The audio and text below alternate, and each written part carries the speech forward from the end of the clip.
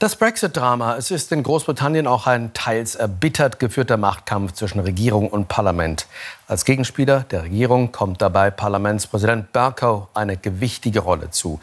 Denn er legt die ungeschriebenen Regeln der ältesten Demokratie der Welt aus. Heute Nachmittag hat Bercow in dieser Funktion Premier Johnson eine weitere Niederlage zugefügt. Johnson darf seinen mit Brüssel ausgehandelten Brexit-Deal heute nicht noch einmal zur Abstimmung stellen. Und wieder einmal sind alle Augen auf ihn gerichtet, Parlamentspräsident John Bercow.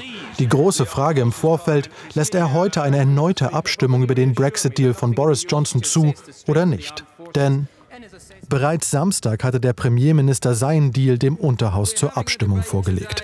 Die Abgeordneten hatten ihn durch einen Änderungsantrag erheblich abgewandelt und dann über ihn abgestimmt. The eyes have it, the eyes have it. Und eine parlamentarische Konvention besagt, über ein und dieselbe Frage darf binnen einer Sitzungsperiode nur einmal entschieden werden. Trotzdem versucht es die Regierung heute erneut. Das Land schaut auf uns, Unternehmen schauen auf uns und auch die EU. Alle wollen, dass wir diese entscheidende Abstimmung heute im Parlament halten können. Und es wäre sehr sonderbar, wenn das wegen einer technischen Feinheit nicht möglich ist. Burko aber hält sich an die Konvention. Meine Entscheidung ist, dass heute keine Debatte über den Deal stattfindet, denn das wäre eine Wiederholung und ordnungswidrig. Und so ist eine Abstimmung über Johnsons Deal wieder aufgeschoben, aber wohl nicht für lange. Denn heute Abend noch will die Regierung den Gesetzestext zu Johnsons Deal veröffentlichen und über den sollen die Abgeordneten dann morgen abstimmen. Plan B für Premierminister Johnson ist es, das für den Brexit nötige Gesetzespaket einzubringen. Im Laufe des Abends soll es veröffentlicht und voraussichtlich morgen zur Abstimmung gestellt werden. Meine Kollegin Annette Ditter zu den Chancen Johnsons, das Gesetzespaket durchs Parlament zu bringen. Ja, das könnte erst mal gelingen. Im ersten Schritt könnte er dieses Gesetzespaket als Ganzes durchs Parlament in der Tat bekommen, wenn die Labour-Rebellen, die bei Corbyns Linie nicht mitmachen wollen, auf seine Seite schwenken.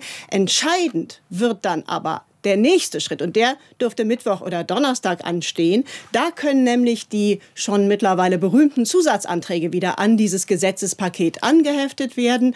Und Labour hat bereits erklärt, dass man mindestens zwei solche Zusatzanträge einbringen will. Den ersten, das ist der ähm, dass man dieses Gesetzespaket mit einem zweiten Referendum verknüpfen will. Der hat aber wohl Stand jetzt keine großen Aussichten auf Erfolg. Weit gefährlicher dürfte der zweite Antrag, der zweite Zusatzantrag werden. Und da geht es darum, dass man ihn zwingen will, dass die Opposition ihn zwingen will, in der Zollunion zu bleiben.